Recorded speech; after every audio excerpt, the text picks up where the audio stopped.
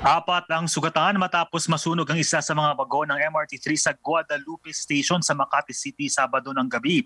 Ayon kay SF03 Jaime Makababayaw, lead arson investigator ng Bureau of Fire Protection Makati, 9.29pm sumiklab ang apoy at napula naman agad ng 9.56pm. Nagsimula umuno ang apoy sa pangatlong bagon ng MRT hanggang sa kumalat patungo sa gitna ng tren. Nakarinig anya ang driver ng tren ng pagputok habang bumabiyahe pa northbound lula ng hindi patukoy na bilang ng mga pasahero.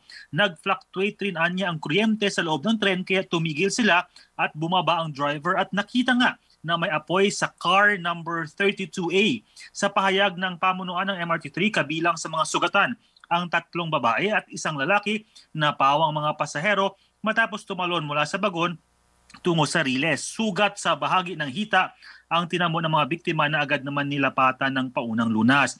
Hindi pa tukoy no ang dahilan ng pagsiklab ng apoy sa ngayon, ngunit isa sa tinitingnan ng BFP ang posibilidad na luma na ang mga kawad ng dinadaluyam ng kuryente na nagpapatakbo sa tren.